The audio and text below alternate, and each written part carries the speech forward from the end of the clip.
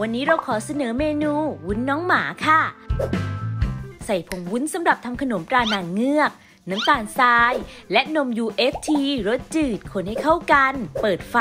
โดยใช้ไฟปานกลาง คนเป็นระยะ จนส่วนผสมเดือดแล้วปิดไฟ แบ่งส่วนผสมวุ้น 50 กรัม เติมผงโกโก้ที่ละลายกับน้ำมันพืชคนให้เข้ากัน เตรียมไว้เป็นส่วนหู จมูกและหาง แบ่งส่วนผสมวุ้นที่เหลือเป็น 3 ส่วน ส่วนที่ 1 เติมสีผสมอาหารสีเขียว คนให้เข้ากัน เตรียมไว้เป็นส่วนฐานสีเขียว หยอดวุ้นช็อกโกแลตลงในพิมพ์วุ้นน้องหมา บริเวณหู จมูกและส่วนหาง พักไว้จนวุ้นเริ่มทรงตัว ตักวุ้นสีขาวลงในพิมพ์วุ้นน้องหมาจนเต็ม พักไว้จนวุ้นทรงตัวแล้วนำออกจากพิมพ์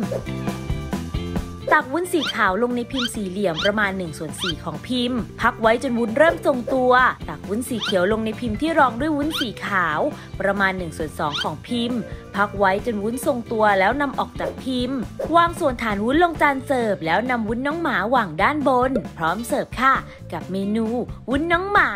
เมนูโดนใจจากผงวุ้นสำหรับทำขนมตราด่างเงือก